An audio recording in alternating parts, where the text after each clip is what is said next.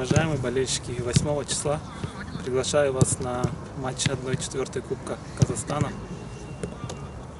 15.00 против Атарау. У нас есть реальный шанс выйти в полуфинал Кубка и сотворить историю. Ваша поддержка нам будет нужна.